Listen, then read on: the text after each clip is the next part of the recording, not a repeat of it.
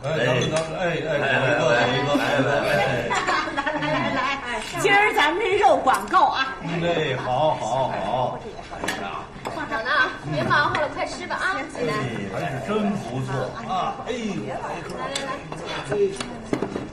姐，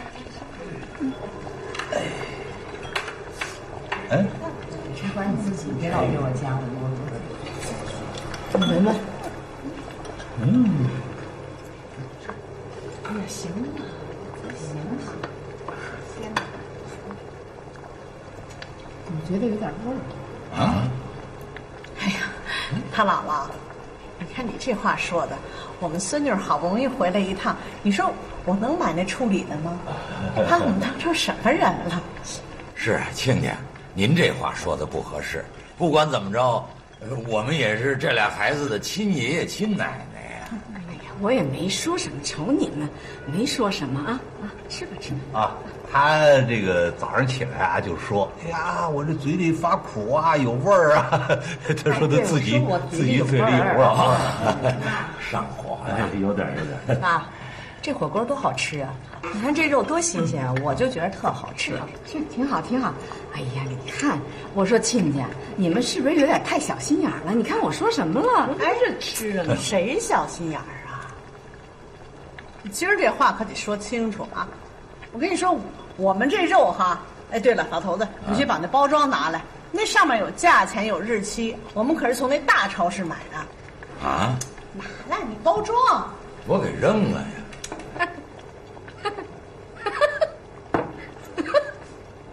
哎呀，真是，真是凑巧啊、真巧。妈，你你你你这有点拱火啊！你扔哪儿了你？不是，我就扔到外头垃圾箱了。今天亲家来，我起来给收拾收拾房间吧，就把乱七八糟东西都给扔了。你说你这个人，你你你，哎，你平时也没这么勤快，你怎么这么勤快呀、你？哎你扔哪儿了你？你给它捡回来。妈，我捡去，我去把它捡回来成吗？行行行，听我的，听我的啊！咱们这样这样都不说了啊，这肉啊，新鲜，真的新鲜，没问题啊！我是从来我就没吃过这么新鲜的肉，我来我来啊！哎，你看这肉多新鲜啊，我就觉得特好吃。嗯，好吧，来来来，都吃都吃都上手，哎，嗯，哎，你干嘛呀？你这吃药干嘛？你吃吃吃，别不是那这吃什么药啊？药，什么药？哦，我明白了。刚才在楼下，临来的时候，他姥姥吃了一片药，看来是怕咱们家这东西不干净，提前预防，吃的是利特灵吧？不不不，这降压降压药。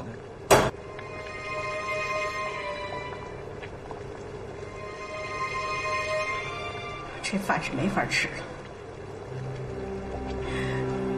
吃着我们家买，我们家买的这么新鲜的肉，你们这还嫌不干净？老头子，送客。哎，你，我说亲家，今天我真得学你一句话，岂有此理！你们这真是岂有此理呀、哼！不是爸，笑笑笑。哎，你说我怎么了？我没怎么，我哎妈，我行了，您说的还少，人说叫什么话呀？干嘛那么大脾气？倒是请人吃饭呢，还是跟人发脾气来了？哎呀姥姥，走，别拦我，走了。不是这不吃就不吃。吃吃一口饭。真不吃了，香着呢。爷爷奶奶、姥姥姥爷回来吧，别闹了，快点！不吃我可都吃了。嘿，回来了。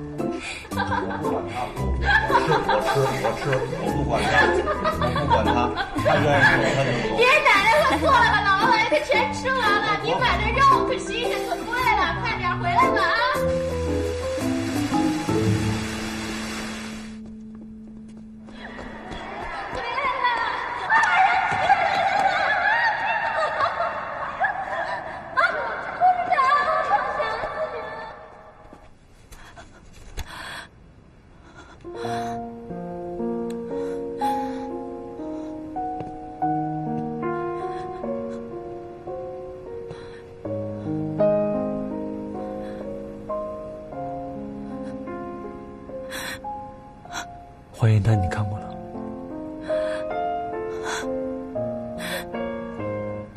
救了吗？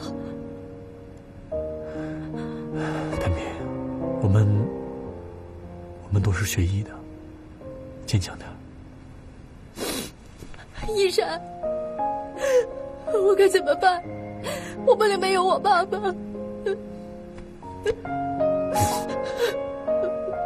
让你爸爸没有遗憾的走，是我们现在最需要做的。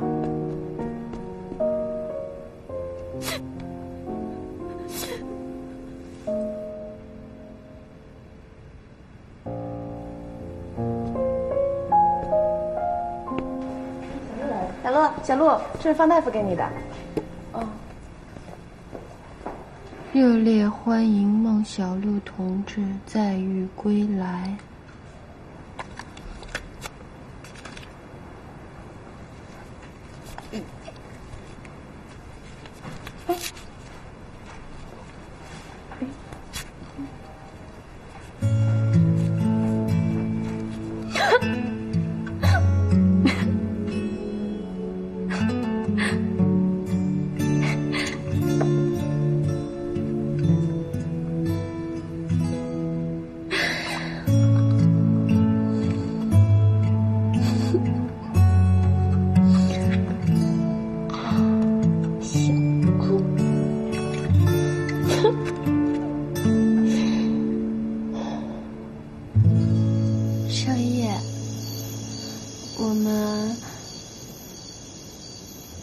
就先这样吧，好不好？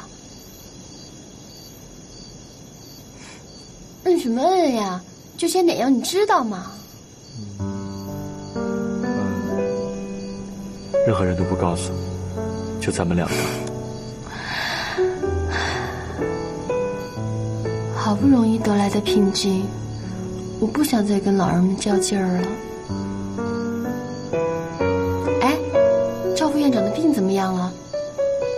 已经是晚期了，估计撑不了多久。谭平都快崩溃了。萍姐太可怜了，你一定要多帮帮她。但是不许吃她豆腐。什么时候吃的豆腐了？若想人不知，除非己莫为。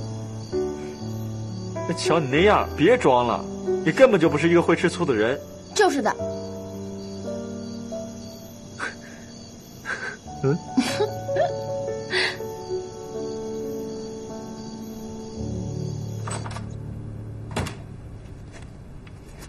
小鹏啊，小鹏，把香蕉拿上。不是，妈妈妈，别再拿了，够多的了。哎呀，拿上！人赵院长对咱们有恩，你说现在不送，什么时候送啊？到时候都后悔。不是上回拿去那个水果还放在医院里没吃了呢，你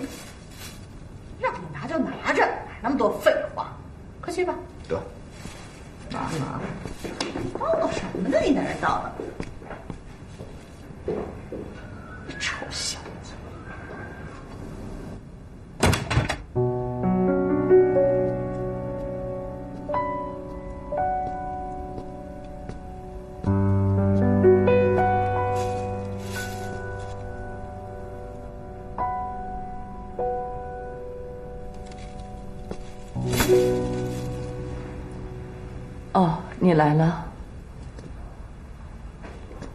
啊，啊，来了。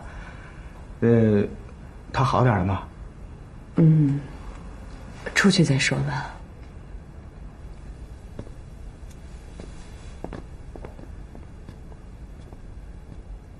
你是不是特别伤心啊？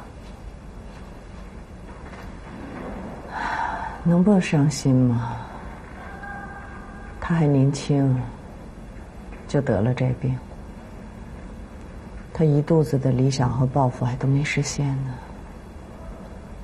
事业干得好好的，这下就病倒了。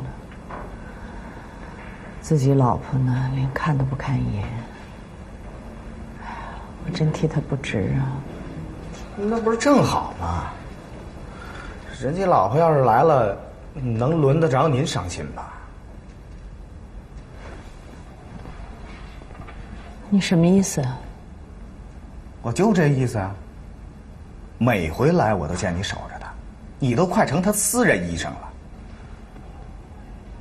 你也不瞧瞧你自己，抢俩眼睛，整个一熊猫眼了。要不是小鹿跟我说，他专门来替，你连饭你都不吃了。哼，照这样下去啊，你快跟他一块去了。你胡说八道！他是我病人，我是他医生，我当然。您还知道他是您的病人，不是您老公啊？啊？人家结婚了，就算人家老婆不来，那也是有主的人了。你干嘛呀？人心里有你吗？你干嘛这么伤感呢？我看见你这一心一意给人当后辈寡妇的样子，我就来气。你混蛋！你说什么呢你？混蛋，我欠抽。行，你愿意犯啥守着他，关我屁事。您请，您随意，行了吧？您不是守了他半辈子吗？啊，这后半辈子人走了，您再伤心半辈子，您愿意选择这种活法，您觉得舒坦，您就照着这种活法、这种舒坦的去过。我不跟这儿犯贱。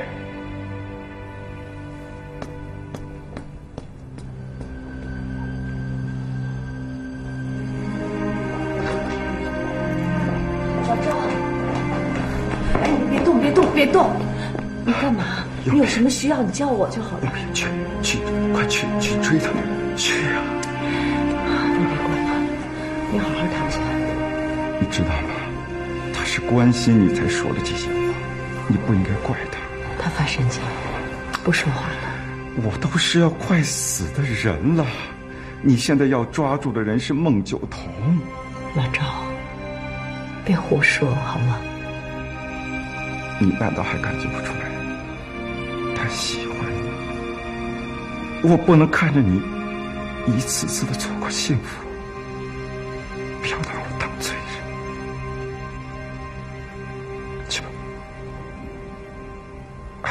去！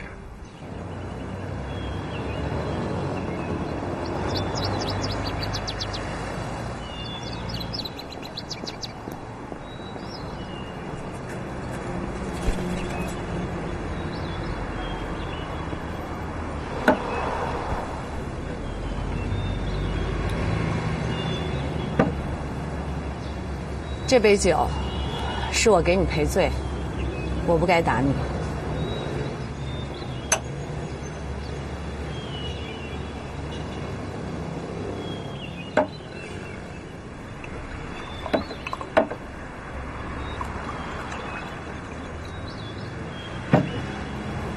第二杯，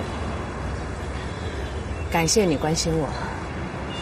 有人说你呢，话虽说的难听，但是你心里是关心我。谁谁关心你啊？我关心你这个母老虎，我吃饱撑的我。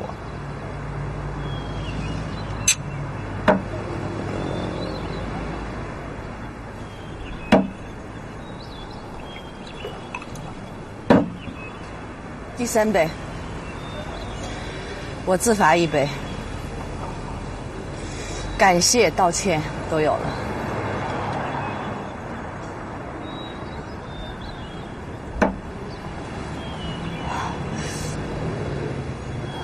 喝。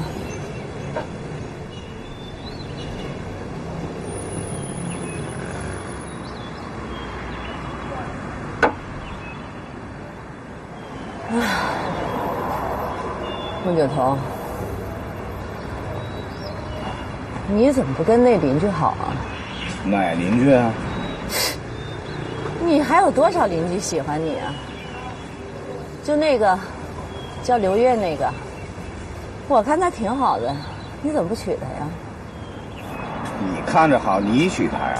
甭撺掇我。你没事儿吧？我又不是同性恋。知道。喜欢男人几十年了，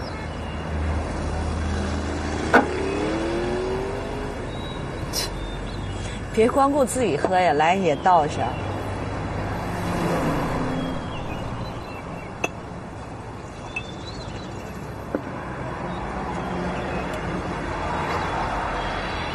孟九头，跟你说啊，我呢，想通了，人呢，这辈子呢，两个人喝酒才有意思。喝醉的时候呢，有个扶你的，对吧？喝吐的时候呢，有人给你拍背的。你渴了呢，有人给你倒茶的。你想喝的时候呢，有个能随传随到的。你说对吗？这算是我这辈子的梦想。可是我这辈子找不着这人。何永平，恭喜你，恭喜你想通了。没想到我的一番话，让你下了决心。去找你的赵副院长吧，你念了他大半辈子了。去找他喝去吧，将来也不落任何的遗憾。哎，你傻呀！老赵都病成那个样子，能喝吗？还恭喜呢？恭喜什么呀？恭喜！不是那，那你什么意思呀？那你打算跟谁喝呀？你说呢？笨蛋！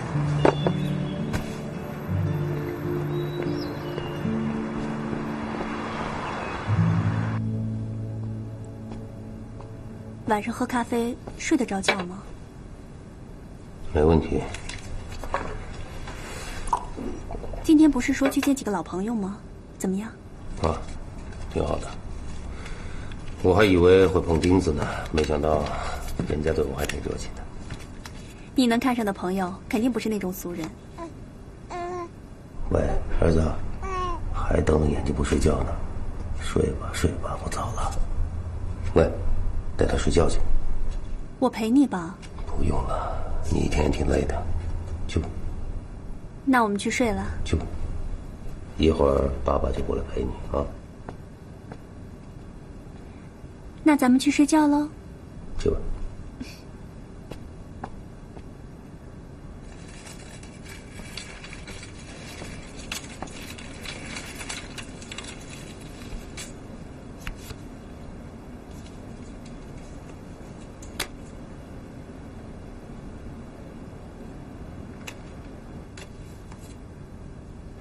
出来也不告诉我一声，我可一直惦记着你呢。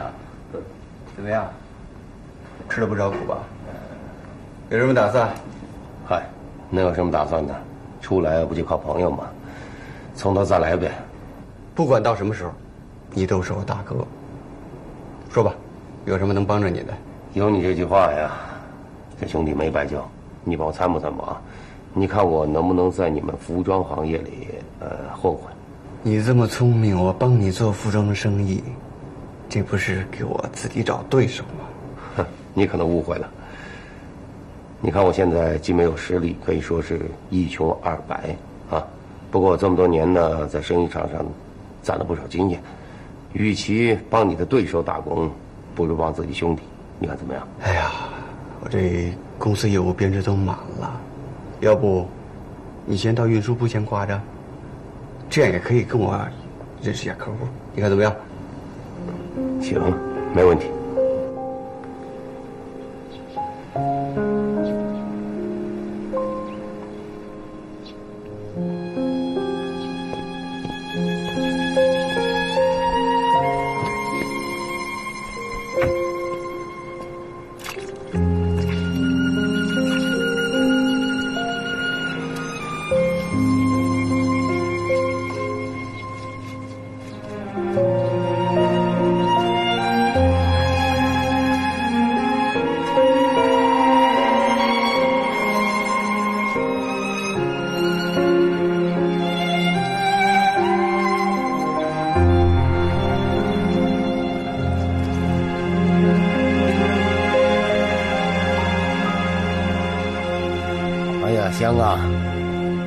我洗澡的时候就闻见了。光吃泡面行吗？行。你怎么出去应酬还不吃饭啊？哼，谈生意嘛，都这样。我觉得你这朋友挺够意思的，一去了就让你当主管。嗯我也觉得不错。那主要负责什么呀？嗯，联络客户什么的，嗨，打杂，工资不太高。没事儿，刚开始嘛，别有什么压力。啊，孩子怎么样？闹吗？还那样，一撒手就哭，所以只能抱着。哼那你就没有时间吃饭了？是啊，今年的饭都是姥姥送来的。我跟姥姥说不让他来回跑，他非不听。嗯，我老婆的面做的就是香啊。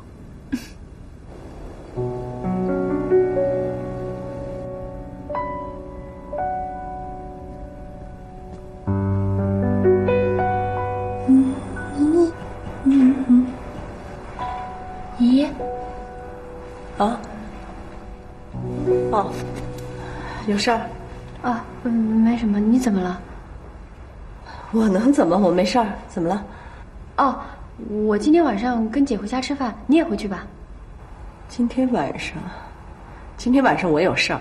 嗯，你们自己吃吧啊。嗯。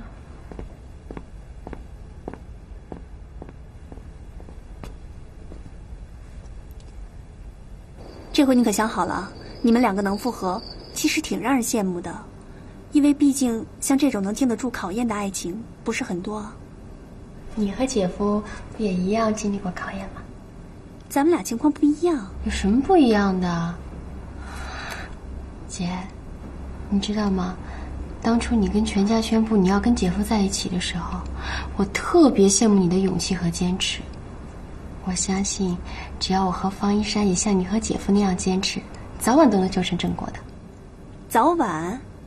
我看你连今晚都等不了了。你说什么呢？我们俩是很纯洁的。纯洁你还去度假村？那是因为城里熟人太多了。再说了，他得两个医院来回跑，我们为了节约时间，就选择了一个中间地点。我们这是珍惜有限的时间。行了行了，不逗你了，快看看几点了。呀，这么晚了，我快来不及了。那姐姐，你帮我跟爷爷奶奶打个掩护啊！拜托了，我走了，走了，姐，拜拜。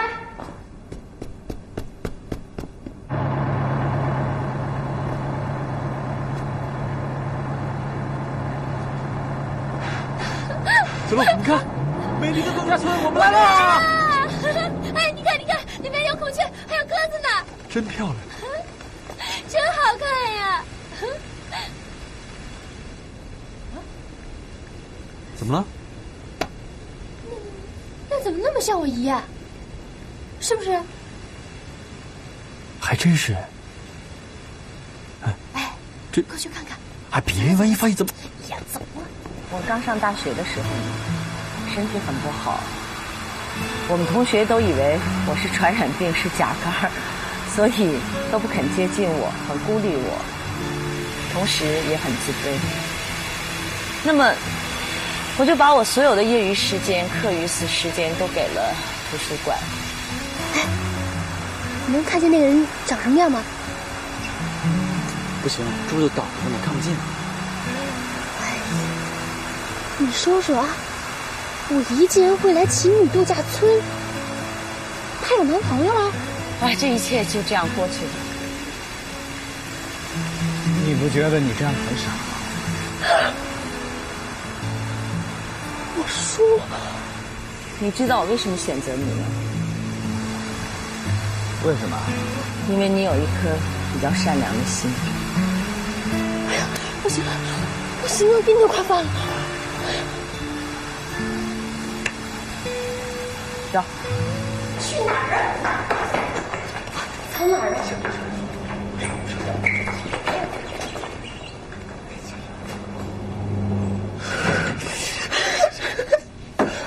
太巧了，这样。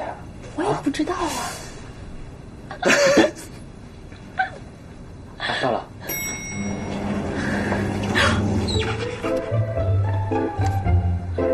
呃，叔主任好。这么巧？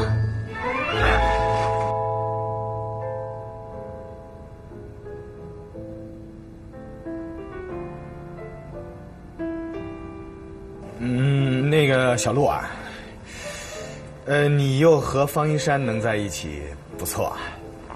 嗯，不是我的意思是说，你们瞒着家里，我们是可以理解的啊。那个我不不过啊，这没结婚就来这种地方，哎，你们可千万别想歪了啊！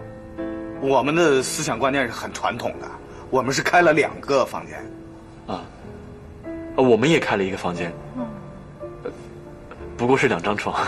对对对对对。啊啊，呃，那什么，我和你是约，算那个永平算了，还是你来说吧。你看我说半天还是说不明白。嗯，既然我们碰到了嘛，就把话挑明了吧。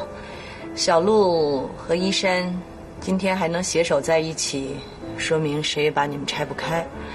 那么你们的心情跟我们估计想法是一样的，无非是担心老人知道之后接受不了，要给他们点时间，然后也得想想办法。这种事情也急不得，所以在这段时间里，我希望小陆，你们的事情我不拦着，那我和叔的事情呢，也希望你闭口不谈。啊，姨，你放心吧，我从现在开始我就把嘴封上，半个字儿都不会说出去的。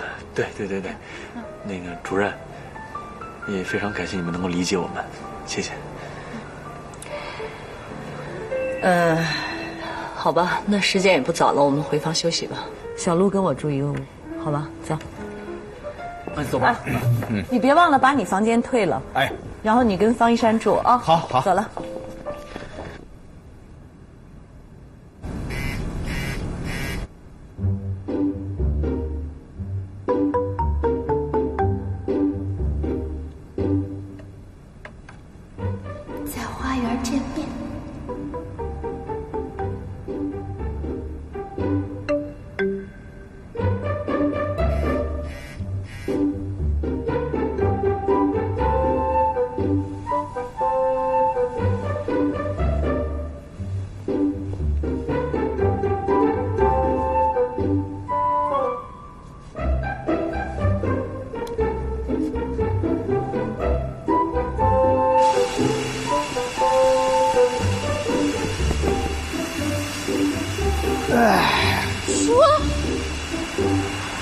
在这儿啊？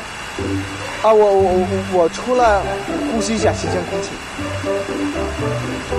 啊，这样，啊，你你干嘛跑出来？我也来呼吸呼吸新鲜空气。啊，那我们俩一块儿呼吸新鲜空气。嗯，好好好。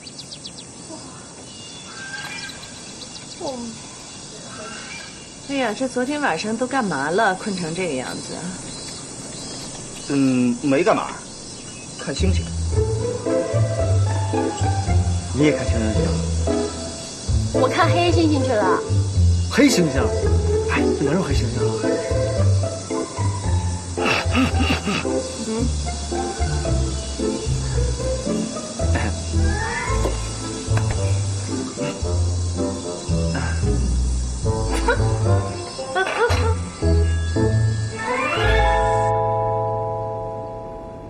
你要把遗体捐给医院？活着的时候没做什么贡献，希望死了这副身体能救几个人。谭平同意吗？都是学医的，我相信他能理解。赵渊，字已经签了，替我交给医院。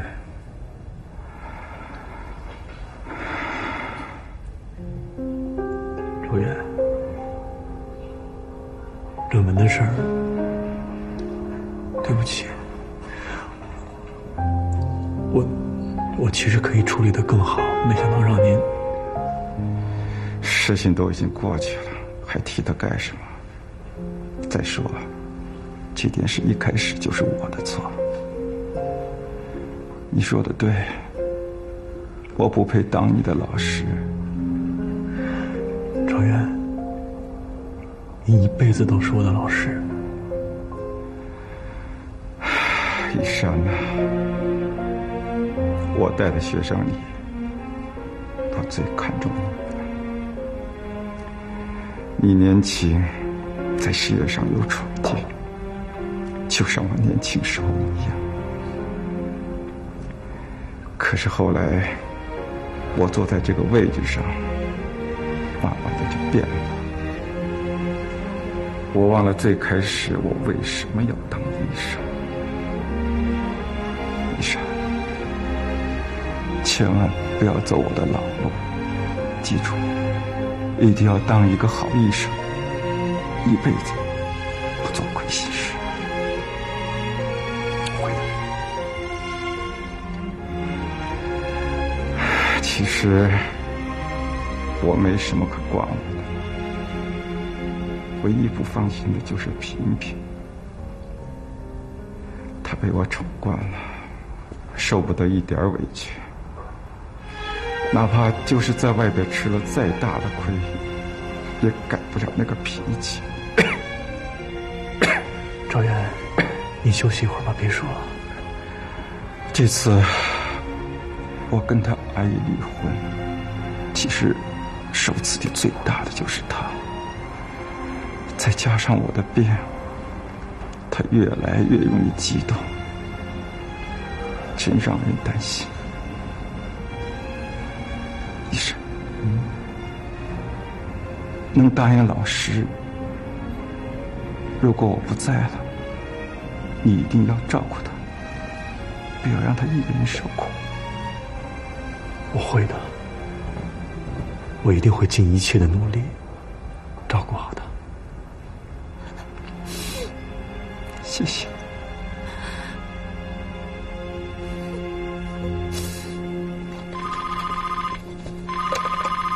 喂，谁呀、姥姥，宝宝醒了吗？嗨，刚刚拉了你姥爷一身屎，这孩子啊，那怎么办啊？姥爷带换洗的衣服了吗？啊，没事儿没事儿，啊，这揉一揉，晚上就干了，就穿回家去了呗。哎，水电费办完了吗？我这刚办完，马上就要回去了。哎，小心点儿啊，我正要给孩子喂水呢。那我先挂了。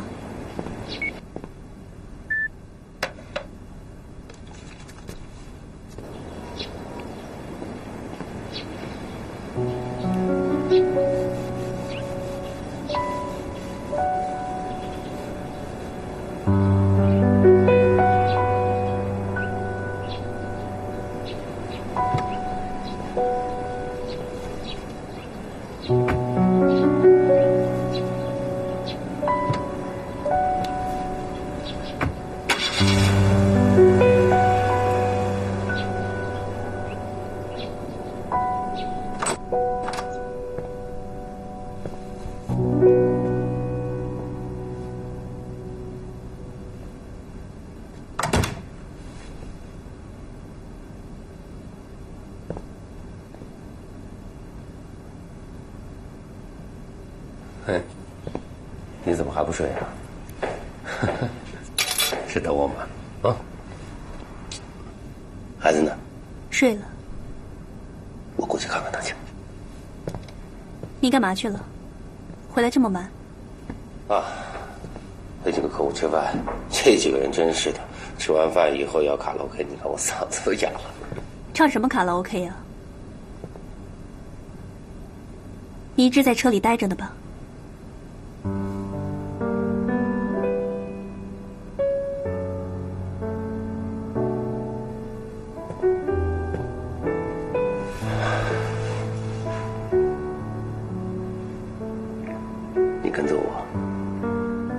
今天去交水电费，在酒店门口看到你迎一个老板上车，你那是什么朋友？其实我刚从牢里出来，人家能够收留我，已经很不错了。再说了，这跟老板也没什么不好的，成天的吃吃喝喝的，他要去哪去哪呗。你知道，我在车里睡了几觉，要放在以前，真的想都不敢想。我不想你做的这么苦。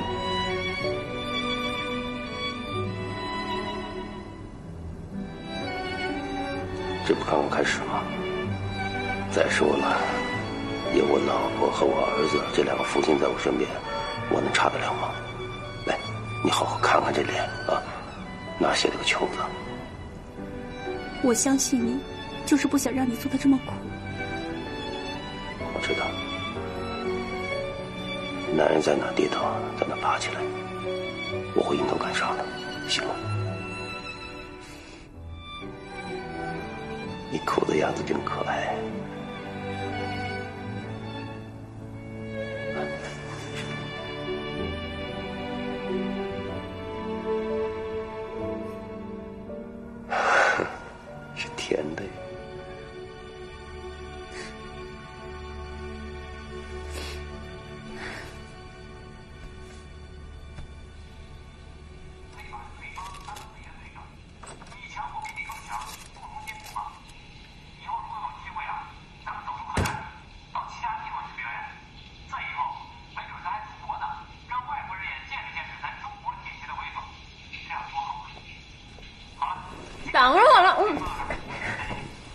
嗯。小鹿，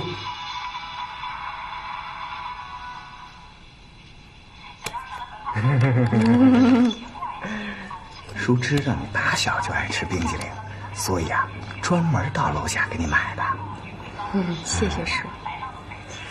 嗯，好吃吧？好吃。帮叔个忙，好吧？我就知道你是黄鼠狼给鸡拜年，没安好心。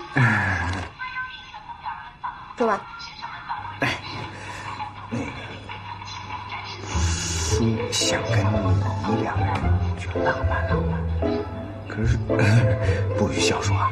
可是不了解你姨的底，不了解她什么胃口，所以，所以这不是来请教你来了吗？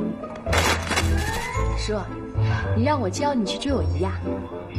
这不是你叔不太会吗？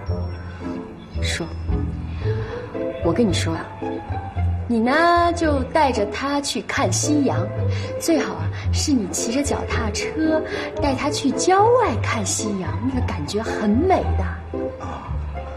骑着脚踏车，去郊外看夕阳，对了，是挺浪漫的哈。可是，就是我和你姨这体重，这自行车没到郊外呢，这车胎就爆了。这儿景色还真挺不错的啊，没想到你还有这品味呢。那是，别以为就你们知识分子懂得欣赏美，行吗？其实啊，劳动人民是最知道美在哪儿的。德行，这沏的什么呀？咖啡啊，你忘了？哼，你不是最喜欢喝咖啡、看油画？我呀，这是带你喝咖啡、看自然风景。哎呀，没想到啊，没想到你孟九童还是这样的一个人。哎，可惜呀、就是吃了没文化的亏了。要不然，你们家老人也不会接受不了我。哎呀，你一说这个呢，我头就疼了。还不只是这个问题，最关键的是，他们发誓这辈子也不跟你们家人来往，这不麻烦了吗？你以为呢？我们家不是啊？哼，这两家都掐了多少年了？哎呀，那又能怎么样呢？你说他们都这么大岁数了，想让他们做改变，那也太难了。不行，得把他们四个老家伙凑合到一块儿，开玩笑呢吧？天方夜谭吗？这不是？给他们抱一团儿，对，给他们报一旅行团。不是你说梦话呢吧？那旅行团还不就地就解散了？你想啊，这四个老人这文化知识、性格脾气都是有差距的，凑不到一块儿是吧？只有想这个招，才能把他们四个老人家凑到一块儿。这凑到一块儿出去一玩，心情一愉快，这就互相能够接受对方，对吧？嗯，别说，还真不失是个好主意。